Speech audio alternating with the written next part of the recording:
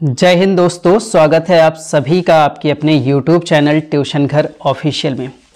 आज के इस वीडियो में हम एसएससी सीपीयू एसआई के जो एग्ज़ाम हुए हैं 2023 में, उसके प्रीवियस ईयर के क्वेश्चन को लगाने जा रहे हैं। इस सेशन में जो ऐड रहेगा चूँकि आपको पता है कि ये चैनल टोटली डेडिकेटेड है इंग्लिश ग्रामर और इंग्लिश के चैप्टर्स को लेके तो आप जिस भी एग्ज़ाम का प्रिपरेशन कर रहे हो एसएससी के रिलेटेड कोई भी एग्ज़ाम उन सारे एग्ज़ाम में ये यूजफुल रहेगा। फ़िलहाल ये जो प्रीवियस ईयर पेपर है, वो एसएससी सीपीएसआई के एग्ज़ाम से 2023 का। हर क्वेश्चन के साथ आप इस तरीके से देख पाओगे ताकि आपको ये क्लियर रहे कि हाँ ये हमें अपडेटेड क्वेश्चन कराए जा रहे हैं। कोई पहले बहुत पुराने क्वेश्चन नहीं है, ठीक है? तो इस क्वेश्चन के साथ हम सीखेंगे क्या? इस सेशन में हमने एरर और इम्प्रूवमेंट के क्वेश्चन को, साथ ही साथ फिलअप के क्वेश्चन को रखा हुआ है, जो 2023 के पेपर में आए हुए हैं। सारा ही 2023 का पेपर मैं कराने वाला हूँ इस चैनल पे तो आप लोग इस चैनल पे जुड़े रहें। अधिक जानकारी के लिए आप ट्यूशन घर ऑफिशियल ऐप डाउनलोड कर सकते हैं और अपनी क्लासेस कंप्लीट कर सकते हैं। आइए यहाँ पर हम लोग चलते हैं। क्वेश्चन हमारा स्टार्ट हुआ है we feed okay the horse oats oats मतलब कुछ खाने की चीज़ें, ठीक है? For a week because it had eaten all the hay अब हे की मीनिंग अगर आप देखोगे तो हे की मीनिंग होती है सूखी घास, ठीक है? सूखी घास सारा क्या किया है? घोड़े ने खा लिया तो उसके लिए उसको मैंने क्या किया? ओट्स भी खिलाया फॉर अ वीक एक सप्ताह के लिए। अब देखो, इसमें हमसे पूछ रहा है कि हमें पार्ट्स अलग करके दे दिया है। हमें ये देखना है कि किस पार्ट में गलती है। तो आप बहुत आसानी से समझ सकते हो कि यहाँ पे क्या कह रहा है कि एक सप्ताह तक, ठीक है? एक सप्ताह तक मैंने क्या किया? घोड़े को ओट्स खिलाया, क्योंकि उसने सारी सूखी घासें खा ली थी। अब आप सोचो कि क्या होना चाहिए। यहाँ देखो फ़ीड लिखा है। फ़ीड के बारे में मैं आपको बता दूँ फ़ीड का फॉर्म होता है, ठीक है? फ़ीड मतलब होता है खिलाना। अब फ़ीड के फॉर्म को आप देखोगे तो सेकेंड फॉर्म होता है फेड थर्ड फॉर्म भी क्या होता है दोस्त? फेड तो जब ये पास्ट की बात कर रहा है, बहुत बेसिक बेसिक से एरर पूछे गए बहुत डरने की बात नहीं है कि सी में, अरे भाई सी का इंग्लिश है, कुछ नहीं है भाई। सारा इंग्लिश कॉमन ही होता है एसएससी के एग्ज़ाम में। तो आप इसमें गलती खोज के दोगे, आप कहोगे, सर, जो पार्ट गलत है ना क्वेश्चन का, वो ये वाला हिस्सा गलत है। वो ये वाला हिस्सा क्यों गलत है? क्योंकि इसमें हमें दे रखा है वॉफ की फ़र्स्ट फॉर्म और हमें यूज़ करना है वॉफ की सेकेंड फॉर्म क्योंकि ये पूरी कहानी पास्ट की तरफ़ है। क्लियर मेरी बात आपको? अगले क्वेश्चन की तरफ़ चलते हैं। इसी तरीके से पूरा एक्सप्लेनेशन आपको मिलेगा। आपको भी अच्छा लगेगा सॉल्व करके अच्छा भी फील होना चाहिए जब भी आप क्वेश्चन लगाएँ। अब हम सेकेंड नंबर क्वेश्चन की तरफ़ हैं। ये हमारे पास एक इम्प्रूवमेंट का क्वेश्चन है। लेकिन इसमें देखो एडियम एक फिट होके चला आया। मैं आपको दिखाता हूँ। ये एडमेटेड एडियम के बारे में क्या कर रहा है कि सब्सिट्यूट करना है। पहले क्या होता था? पहले आपको जो एडियोमेटिक लिखा रहता था, पहले जो इम्प्रूवमेंट के थे, उसमें रूल्स भी पूछता था। अब इन्होंने एक नया पैटर्न भी ऐड कर दिया है कि उसमें एडियम भी लगा दो और फिर पूछो कि बताओ एडियम एक सही सा कौन सा होता है।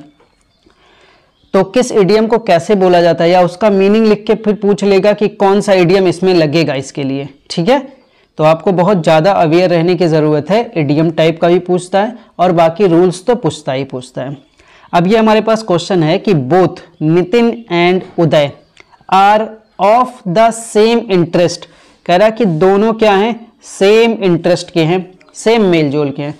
तो आप बहुत अच्छे से एक एडियम लर्न करके रखे होंगे। Birds of the same feather याद किया कि नहीं ये वाला एडियम आपने याद किया होगा। Birds of the same feather का मतलब होता है एक जैसा होना, ठीक है? Birds of the same feather का मतलब होता है एक जैसा होना, एक जैसा इंटरेस्ट भी होना, ठीक है? अब फिदर की मीनिंग आप याद करोगे, पंख होता है भैया, ठीक है? फिदर की मीनिंग क्या होती है? पंख होती है, ठीक है? तो same feather birds of the same feather एक एडियम है। उसी एडियम को हम बोलते हैं सेम इंटरेस्ट का व्यक्ति, ठीक है? देखो कितना अच्छा क्वेश्चन पूछा था। अगला देखते हैं। आप भी इसको पॉज करके क्या किया करो सॉल्व किया करो, अपने आंसर ज़रूर बताया करो, ठीक है? अब एक क्वेश्चन आपका एरर ध्यान रखना, इसमें हमने क्या किया? एरर को ऐड किया है इंप्रूवमेंट को ऐड किया और फिलअप को ऐड किया. ऐसे एसएससी सीपीयू 2023 का जितना भी पेपर हुआ था, सारा ही क्वेश्चन मैं इंग्लिश का आपको कराने वाला हूँ. तो लग के करिए, क्योंकि आपके मई के मंथ में एग्ज़ाम है, ठीक है? आगे देखो लिखा they will not attend the event as they are going away at end of April ठीक है? कह रहा है कि they will not attend the event event को वे लोग क्या करेंगे? अटेंड नहीं करेंगे. एज दे आर गोइंग जैसा कि वे जा रहे हैं गोइंग अवे जा रहे हैं एट एंड ऑफ़ अप्रैल अप्रैल में जा रहे हैं ठीक है? तो देखो ये जो एक लाइन लिखी हुई है एट एंड ऑफ़ अप्रैल ये एक सही आ, कह सकते हो सही एक्सप्रेशन नहीं है लिखने का जबकि सबसे सुटेबल लिखने का क्या होता है? देखना मैं यहाँ लिख रहा हूँ एट द एंड ऑफ़ ठीक है? एट द एंड ऑफ़ ये लाइन बोली जाती है जो एक पॉइंट ऑफ़ टाइम दिखाता है, कोई स्पेसिफिक समय की बात करता है। नहीं तो ऐसे अप्रैल में कुछ भी, अप्रैल की शुरुआत भी हो सकती है, अप्रैल के मध्य भी हो सकता है, अप्रैल का लास्ट भी हो सकता है। तो एट द एंड ऑफ़ ये बहुत अच्छा सा लाइन है, जब भी कभी ऐसा क्वेश्चन आए तो आप ध्यान रखना, वहाँ एट द एंड का यूज़ होना, क्योंकि एक स्पेसिफिक पॉइंट ऑफ़ टाइम की बात करने लगता है। और एक डेफिनेट आर्टिकल जब हम लगाते हैं ना द तो एक निश्चित समय की बात करता है, ठीक है? तो इस क्वेश्चन में कोई और गलती नहीं है, बाकी आप देख भी सकते हो कि ये फ्यूचर की लाइन लिखी है, कहीं पे कोई दिक्कत नहीं, ये भी प्रेजेंट की लाइन है, कहीं कोई दिक्कत नहीं है। जो भी इसमें एरर है अच्छा आप देखो एरर एक और भी बहुत अच्छा सा आप पूछता है। कई बार ऑप्शन ही नहीं देगा कि आप नो एरर लगाइए। आपको एरर खोज के देना ही देना है, चाहे कुछ भी हो जाए। तो आप संभल के रहिएगा, ठीक है? At the end of the at the end of April अप्रैल के एकदम अंत में, ठीक है? अगला क्वेश्चन देखते हैं। अगला क्वेश्चन देखो आपके पास है। देखना ध्यान से। अगले क्वेश्चन में हमने देखा यहाँ पे, एक देखो नो सब्सटीट्यूशन रिक्वायर्ड मतलब ये हमारे पास क्या है सब्सिट्यूट करने के लिए। पहले क्वेश्चन यहाँ पे दे देता था नो इंप्रूवमेंट करना है, लेकिन यहाँ पे अब क्या हो रहा है? कह रहा है कि ये जो अंडरलाइन पार्ट हमने दिया है क्वेश्चन में इसको आपको क्या करना है? इंप्रूव करके सही वाला लिखना है। अगर मान लीजिए आपको सही लगता है तो आप इस फ़र्स्ट वाले ऑप्शन में जहाँ नो सब्सटीट्यूशन रिक्वायर्ड लिखा है, वो लगा सकते हैं, ठीक है? तो अब देखते हैं। ये पूरा हमारे पास क्वेश्चन दिया कि her paintings are way better ठीक है? वे बेटर मतलब अच्छा होगा, ठीक है? देन हर स्केचेस ठीक है? उसके स्केचेस से बेहतर क्या है? उसकी पेंटिंग है। अब आप देखो, अगर आपने एडजेक्टिव पढ़ रखा होगा तो आप बहुत अच्छे से इसको समझे होगे, ठीक है? यहाँ लिखा है बेटर ठीक है? अब जब ई e आर वाला वर्ड आता है तो उसके साथ जो हमारा पेयर जुड़ता है, वो क्या रहता है? कंपेरेटिव डिग्री में। देन का यूज़ होता है। बहुत सिंपल सा है। तो भैया, ये जो इंप्रूवमेंट करना है इस क्वेश्चन में, वो हम क्या करेंगे? हम यहाँ पे यूज़ करेंगे देन का। सही ऑप्शन क्या होगा? देन अच्छा अगर आपने एसएससी से रिलेटेड अगर इंग्लिश ग्रामर नहीं कंप्लीट कर रखा है तो आप इस नंबर पे कांटेक्ट कर सकते हो। मैं यहाँ पे बता देता हूँ आपको, ठीक है? इस नंबर पे आप कांटेक्ट कर सकते हो व्हाट्सएप करके। साथ ही साथ आप ट्यूशन घर ऑफिशियल ऐप डाउनलोड करके अपनी इंग्लिश को एक नेक्स्ट लेवल पे ले जा सकते हो, तैयारी कर सकते हो, ठीक है? चलो, आगे देखते हैं।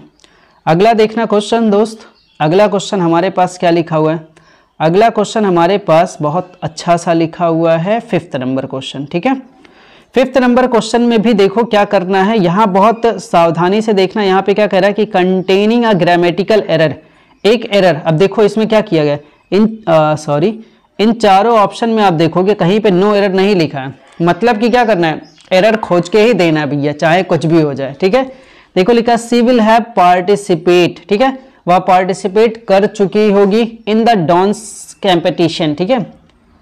ठीक है? इन द डांस कॉम्पिटिशन ठीक है? By the end by the time her father returns from the tour ठीक है? टूर भी बोलते हैं ठीक है?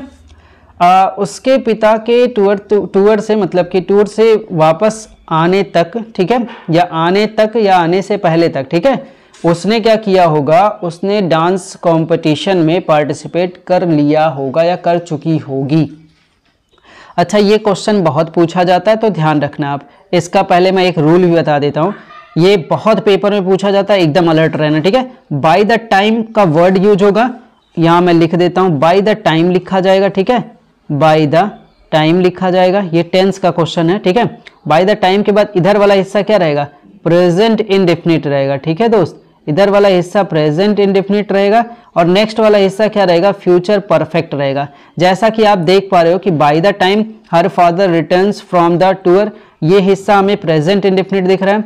अगला हिस्सा हमारा फ्यूचर परफेक्ट होना चाहिए तो हमें विल तो लिखा हुआ मिल रहा है हैव भी लिखा हुआ मिल रहा है। यहाँ तक तो हमें आइडिया लग जाता है कि ये फ्यूचर परफेक्ट की ही बात कर रहा है। लेकिन थोड़ा संभलो संभलो संभलो, रुको रुको रुको भाई। पार्टिसिपेट में क्या होना चाहिए? ईडी e लगना चाहिए। क्यों? क्योंकि वहाँ हैव के बाद विल हैव के बाद क्या होगा? वर्फ की थर्ड फॉर्म लगेगी, जिससे हमें ये क्लियर हो कि हम यहाँ पे विल हैव पार्टिसिपेटेड की बात कर रहे हैं, ठीक है? तभी तो ये फ्यूचर परफेक्ट दिखाएगा। आखिर फ्यूचर परफेक्ट की पहचान क्या है? फ्यूचर परफेक्ट की पहचान है सर विल लगेगा या शैल लिखेंगे हैव लगा के वॉफ की थर्ड फॉर्म लिखेंगे। तभी तो होगा फ्यूचर परफेक्ट इट मीन्स हमारी जो गलती है वो किस पार्ट में है? सर हमारा जो गलती है वो ये वाला पार्ट करेक्ट करेगा। ठीक है दोस्त? आगे बढ़ते हैं। ध्यान रखना, जब भी आपको रूल्स पढ़ने की ज़रूरत हो, आप जाके ट्यूशन घर ऑफिशियल पे SSC English for all SSC exams course को ज्वाइन कर सकते हो, ठीक है? वहाँ पे बहुत अच्छे से एक एक बेसिक बेसिक कॉन्सेप्ट आपके क्लियर कराए गए हैं, सारे चैप्टर्स कवर करा दिए गए ठीक है? तो parts of the following sentence में यहाँ देखो क्या कह रहा है एरर कंटेन्स करना ठीक है? यहाँ पे क्या लिखा है? कंटेनिंग एरर ठीक है? अब ये क्वेश्चन आप जब देखोगे अगर आपने अच्छे से तैयारी कर रखी होगी या इंग्लिश ग्रामर कहीं से भी पढ़ रखा होगा तो आपको क्वेश्चन देखने से आइडिया लग जाएगा, अरे भाई, ये किस पार्ट का एरर है? ठीक है? जैसे लिखा the dancer sorry the dancers swayed dainty on the stage last night dainty का मतलब क्या होता है? सुंदर। ठीक है? अगर आप इसकी मीनिंग देखोगे, स्वादिष्ट या फिर सुनहरा। और अब आप क्वेश्चन की गलती पे जाओ। एक तो लास्ट नाइट लिखा है। लास्ट नाइट हमेशा पास्ट इंडिफिनिट में लगता है। ये स्वेट तो ठीक लिखा है। वॉफ की सेकेंड फॉर्म अब देखो, आप कहोगे, सर द डांसर में कोई गलती नहीं है। अच्छी बात है, बहुत सारे लोग डांस कर रहे हैं। लास्ट नाइट में भी, सर, कोई दिक्कत नहीं है। ऑन द स्टेज होता है। ऑन द स्टेज होता है, कोई दिक्कत नहीं है। सर, जो भी समस्या है ना, वो इस पहले वाली लाइन में है। बिल्कुल पहले वाली लाइन में। तो समस्या क्या है? पहले ये समझो। आपने बहुत अच्छे से पढ़ा होगा और नहीं पढ़ा होगा तो सुनना। वर्ब को मॉडिफाई कौन करता है? या वर्ब की विशेषता कौन बताता है? आप कहोगे सर हमने पढ़ रखा है। वर्ब की विशेषता या मॉडिफाई एडवर्ब करता है। ठीक है? वर्ब की विशेषता या मॉडिफाई एडवर्ब करता है। सर ये जो डेंटी लिखा हुआ ना डेंटी अभी क्या है ना? डेंटी अभी एक आ, कह सकते हो डेंटी अभी एक एडजेक्टिव जिसका मतलब होता है सुनहरा या स्वादिष्ट। लेकिन हम अगर इसी का एडवर्ब बना दें ठीक है? इसी का हम एडवर्ब बना दें, ठीक है? इसी का हम एडवर्ब बना दें डेंटिली, ठीक है? डेंटिली, ठीक है? अगर हम इसी का एडवर्ब बना दें, सर तो इस एडवर्ब का मतलब हो जाता है सुंदरता से, ठीक है? डेंटिली का मतलब हो जाता है सुंदरता से। जैसे ही इसमें हम एल वाई जोड़ देते हैं या इस तरीके की स्पेलिंग बना देते हैं D A I N T I L Y तो ये हो जाता है सुंदरता से। आप सेंटेंस देख के ही समझ जाओगे, सर, यहाँ एडवर्ब वाली दिक्कत है। और ये कब समझ पाओगे? जब आप अच्छे से अपनी इंग्लिश को कवर कर पाए होगे। तो मेरी बात फिर आप सुन सकते हैं कि जैसा मैंने आपसे कहा कि अगर आप अपनी इंग्लिश को अच्छा करना चाहते हैं तो आप ट्यूशन घर ऑफिशियल ऐप से ज़रूर जुड़ें। अगला क्वेश्चन देखना दोस्त। यहाँ पे क्या कह रहा है? ध्यान से देखना, आपको लगेगा कि ये क्वेश्चन नो एरर का है। लेकिन देखो कितना सा, कितनी चालाकी से इस क्वेश्चन में ये पूछ लिया गया कि बताओ स्पेलिंग एरर पहली बार जब इस क्वेश्चन को मैंने देखा ना तो मैंने भी सोचा, अरे यार, ये तो एरर का क्वेश्चन पूछ रहा है। लेकिन नहीं, यहाँ जब मैं आके पहुँचा तो हमें यह पता चला कि भैया ये स्पेलिंग एरर के क्वेश्चन पूछ रहा है। तो देखो, लिखा हुआ ही रोट हिज डायरी ठीक है? In code so that nobody could understand it कह रहा कि उसने क्या किया? उसने एक डायरी आप तो डायरी को डायरी ही पढ़े होगे। पहली बार में डेयरी को सॉरी डेयरी जो यहाँ लिखा है, उसको आप डायरी ही पढ़े होगे, क्योंकि मैंने भी पढ़ा था, इसलिए मैं आपको बता रहा हूँ। इसलिए nobody nobody could understand it code में वो लिखा था, ठीक है? इसलिए कोई कुछ समझ नहीं पा रहा था। अब देखो इसमें गलती क्या हो गई। देखो, जो क्वेश्चन था, ये स्पेलिंग का एरर था, यहाँ से आपको हिंट मिलता कि स्पेलिंग का अंतर है। तो जो डेयरी होता है ना डेयरी जो दूध वाला या मिल्क से रिलेटेड रहता है, वो ये डेयरी है, ठीक है? और जो डायरी होती है, उसकी स्पेलिंग भाई इसको आगे पीछे कर लो, ठीक है? ये होती है लिखने वाली डायरी जो हमारी पुस्तक एक बनती है। तो भैया डायरी लिखेगा डेयरी नहीं लिखेगा, ठीक है? अपनी डायरी उसने कोड में लिखी है। समझ में आया? तो बहुत शानदार क्वेश्चन था, बहुत अच्छा लगा। पहली बार मैंने भी गलत किया था इस क्वेश्चन को, इसलिए आपको थोड़ा और अच्छे से, थोड़ा समझाने की कोशिश कर रहा हूँ, ठीक है? तो जब जब आप यहाँ पे इंस्ट्रक्शंस आपको मिलें, ठीक है तो बड़े ध्यान से इनके इंस्ट्रक्शंस को पढ़ा करो देन आफ्टर आप क्वेश्चन पे अप्लाई किया करो, ठीक है? आगे चलते हैं। अगला क्वेश्चन देखेंगे। अगला क्वेश्चन देखिएगा, आपके पास अगला क्वेश्चन है विल इम्प्रूव अंडरलाइन पार्ट वैसे देखिए, यहाँ पे अंडरलाइन पार्ट कुछ रहा होगा, जो इस क्वेश्चन में एक्सेप्ट नहीं किया गया, लेकिन इन ऑप्शन से हम समझ पा रहे हैं, एक सेकेंड इन ऑप्शन से oh shit just wait okay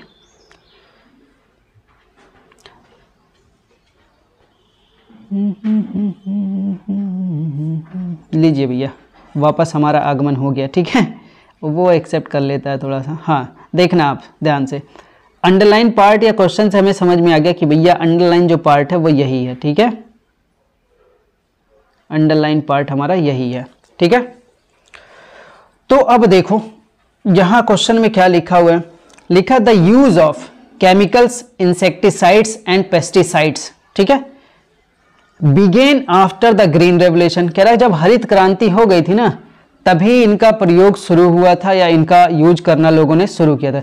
तो यूज़, ठीक है? यूजेज, यहाँ पे एक चीज़ आपको समझना है कि हम यहाँ पे क्या करेंगे। क्वेश्चन को ध्यान से आप पढ़िएगा। आपसे क्या क्वेश्चन पूछना चाह रहा है? इन केमिकल्स इंसेक्टिसाइड्स और पेस्टिसाइड्स में तो कोई दिक्कत नहीं है। आप कहेंगे, सर, इसमें तो कोई दिक्कत नहीं है। यहाँ तक कि लाइन में हमें कोई दिक्कत नहीं हो रही है। हमारी जो समस्या है, वो द यूजेज यूजेज ठीक है? यूजेज और प्रैक्टिस और कंजम्पशन और द कस्टम पे है, ठीक है? इन्हीं पे हमारा मेन फोकस है और इन्हीं को हमें देखना है, ठीक है? एक सेकंड इसको हम लोग सही कर लेते हैं जस्ट अ सेकंड तो देखो इसमें जो हमें एक कॉन्टेक्स्ट इसमें समझ में आ रहा है, ठीक है? यहाँ पे यूजेज लिखा हुआ है प्रैक्टिस लिखा है कंजम्पशन लिखा है। एक्चुअल में अंडरलाइन पार्ट ये है केवल द यूज़ ऑफ़ ठीक है? पूरा नहीं है। तो द कस्टम कस्टम का मतलब आपको ध्यान रखना है कि ये ट्रेडिशनल से रिलेटेड है, परंपरागत रिलेटेड है तो यहाँ तो कुछ नहीं होगा। कंजम्पशन की मतलब मीनिंग हो रही है खपत करना, ठीक है? तो इस केमिकल्स और इंसेक्टिसाइड्स का खपत करना शुरू नहीं हो रहा है, ठीक है? आप इसके प्रयोगों के बारे में बात कर रहे हैं। देखो, एक चीज़ इंप्रूवमेंट के क्वेश्चन से सीखने की कोशिश किया करो आप लोग कि जहाँ ये वर्ड लिखा ना द यूज़ ऑफ़ इसी के जैसा कुछ हमें अल्टरनेटिव इसका लेकर लाने पड़ता है, ठीक है? अगर यहाँ नो इंप्रूवमेंट वाला ऑप्शन होता तो हम उस साइड भी जाने की कोशिश करते, क्योंकि यूज़ और यूजेज यहाँ देखो दो चीज़ों बात हो रही है यूज़ और यूजेज का, ठीक है? तो यूज़ का मतलब सिंपल सा होता है, एक प्रयोग करने की आप बात कर रहे हैं। लेकिन जो यूजेज होता है, ठीक है? इसका मतलब होता है कि ये एक किसी चीज़ पे एक्शन करने की बात कर रहा है। कह रहा है कि द एक्शन ऑफ़ यूजिंग किसी काम को करने के लिए, ठीक है? हम यूजेस शब्द का यूज़ करते हैं, ठीक है? यूजेस शब्द का यूज़ करते हैं किसी भी चीज़ को करने के लिए। तो ये एक एक्शन को दिखाता है। और ये बहुत ध्यान से आप समझने की कोशिश करना कि जैसा कुछ हमारे क्वेश्चन में लिखा रहता है, उसी से मिलता जुलता हम कुछ चेंजेस करने की कोशिश करते हैं इंप्रूव करने की कोशिश करते हैं। सो so दैट कि वो क्वेश्चन को फिट भी बैठे। वैसे अगर ये यूजेज ना होता ना तो ये यूज़ ऑफ़ एकदम करेक्ट रहता है इसमें कोई गलती नहीं निकाल पाता। लेकिन चूँकि यहाँ पे यूजेज दिया है तो इस कॉन्टेक्स्ट में हम कह सकते हैं कि सबसे बेहतर जो लाइन हमारे लिए बढ़िया और बेस्ट बनेगा, वो क्या रहेगा? वो यूजेज रहेगा। ध्यान से रखना यूजेज ठीक है? अब ये सीख चुके आप कि क्वेश्चन के अकॉर्डिंग इंप्रूवमेंट करना रहता है। तो ये आपका ध्यान हमेशा इस टाइप के क्वेश्चंस पे रहना चाहिए। बाकी आप कर कुछ भी सकते थे। अगर यहाँ नो इम्प्रूवमेंट लिखा होता ना तो नो इम्प्रूवमेंट की तरफ़ भी चले जाते। लेकिन अब दोनों के अल्टरनेटिव में कोई एक ऑप्शन तो हमें लेना ही लेना है। तो जब कोई एक ऑप्शन हमें लेना ही लेना है तो हम सबसे बड़ा और सबसे बेस्ट ऑप्शन सेलेक्ट करेंगे ये फ़र्स्ट वाला। आइए, आगे बढ़ते हैं। ये छोटे छोटे अंतर ना कभी कभी घातक हो जाते हैं सॉल्व करते वक्त, ठीक है? देखो क्वेश्चन में हमारे पास एक फ्रेजल वर्ब की बात हुई है, ठीक है? एक तरीके से आप कह सकते हो कि ये सर वो कैब वाला पार्ट आ गया है, ठीक है? कोई दिक्कत नहीं है, ठीक है? कह रहा कि अरुणिमा ब्लैंक दे रखा a lot during her vacation ठीक है? ड्यूरिंग हर वेकेशन अपने वेकेशन के द्वारा बहुत सारा तो बहुत सारा क्या, ठीक है? एक लिखा है फ्रेजल वर्ब गेट्स आफ्टर एक लिखा गेट्स आफ्टर एक gets about gets along gets on सबसे पहले इनकी आप मीनिंग लिख लो, ताकि आपको ये क्लियर हो कि भैया यहाँ क्या लगाना है। विदाउट मीनिंग ये क्वेश्चन सही नहीं हो पाएगा, आप भी जानते हो, मैं भी जानता हूँ। तो गेट्स अबाउट की मीनिंग लिखना है। इसका मीनिंग होता है मूव अराउंड ठीक है? क्या होता है? इधर उधर चलना फिरना, ठीक है? मूव अराउंड ठीक है? मूव अराउंड या फिर ट्रेवल आप बोल सकते हो, ठीक है? ट्रेवल वेरियस प्लेसेस अलग अलग जगहों पे घूमने जाना। गेट्स आफ्टर की मीनिंग देखोगे तो इसका मीनिंग होता है आलोचना करना क्रिटिसाइज करना, ठीक है? आलोचना। आलोचना, ठीक है? गेट्स अलोंग की अगर मीनिंग देखोगे तो आगे बढ़ना होता है या मिलजुल कर रहना होता है। लिख लेना, आगे बढ़ना या मिलजुल कर रहना, ठीक है? आगे बढ़ना या मिलजुल कर रहना। गेट्स ऑन की मीनिंग देखोगे तो साथ रहना या प्रगति करना। प्रगति करना लिख लो आप, ठीक है? प्रगति करना, ठीक है? तो आप देखोगे तो क्या कहना चाह रहा है इस क्वेश्चन में? कह रहा है कि अरुणिमा अच्छा जब तक आपको फ्रेजल वर्ब की मीनिंग नहीं पता रहेगी क्वेश्चन लगाना बहुत टफ रहेगा, क्योंकि दो वर्ड दे दिया वर्ब और एक प्रीपोजिशन क्या कर लेंगे आप? आप सेंस कुछ कंप्लीट ही नहीं कर सकते। अच्छा ये सेंस लगा लें। भैया, ये सेंस के ऊपर की बात हो जाती है फ्रेजल वर्ब ठीक है? तो अरुणिमा ब्लैंक दे रखा a lot during her vacation time meaning वगैरह अगर आपको नहीं याद हो पाता है, आपको अगर फ्रेजल वर्ब नहीं याद हो पाता है तो फिर मैं आपसे कहूँगा कि ट्यूशन घर ऑफिशियल ऐप पे जाइए। आपके पूरा कंप्लीट कोर्स बना के रख दिया गया। उसको अगर आप देख लेंगे ना तो सारे ही एसएससी एग्ज़ाम के लिए, जितने भी इधर एसएससी के एग्ज़ाम हम पॉइंट कर रहे हैं, जैसे steno CPO CGL CHL MTS GD सारे एग्ज़ाम के लिए यूजफुल है। और ये कोर्सेज जो है ना वन ईयर की वैलिडेशन पे रहेंगे, ठीक है? आप एक साल तक आराम से इसको रखेंगे, ठीक है? आइए। और अगर अधिक जानकारी चाहिए व्हाट्सएप नंबर पे कांटेक्ट करें। तो यहाँ आप समझ गए होंगे कि, सर, अब हम यहाँ ऑप्शन लगाएँगे।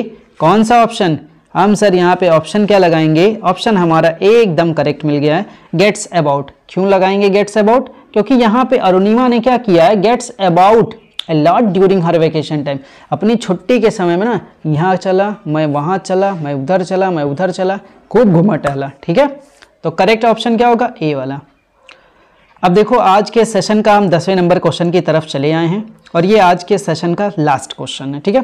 ध्यान रखना 2023 का जितना भी प्रीवियस ईयर का क्वेश्चन है सीपीओ का 2023 पहले मैं आपसे सॉल्व करा रहा हूँ, ठीक है? तो अच्छे से करिएगा, मज़ा आने वाला है, ठीक है? तो यहाँ देखो सब्सिट्यूशन दे दिया। अब सब्सिट्यूशन अलग अलग टाइप से कभी क्या करेगा? ऐसे अंडरलाइन कर देगा। कभी देखो ऐसे ब्रैकेट वाले पार्ट में करके दे देगा। तो आप एकदम अलर्ट रहना कि, सर, हमें ये इंप्रूवमेंट वाला ही क्वेश्चन हमें इंप्रूव ही करना है। ठीक है? तो ये हमारे पास चार ऑप्शन है। अच्छा मजबूरी ये भी है कि नो इम्प्रूवमेंट का कोई ऑप्शन नहीं, आपको इम्प्रूवमेंट करना ही करना पड़ेगा। देखो, लिखा lots of kids was visualized ठीक है? Was visualized crossing the road when the bus arrived ठीक है? बहुत सारे बच्चों को उन्होंने देखा। वो आ, बच्चे दिख रहे थे ठीक है? जो रोड क्रॉस कर रहे थे। रोड क्रॉस करते हुए बहुत सारे बच्चों को देखा गया। वेन द बस अराइव्ड जब बस पहुँचता है ठीक है? जब बस पहुँचा।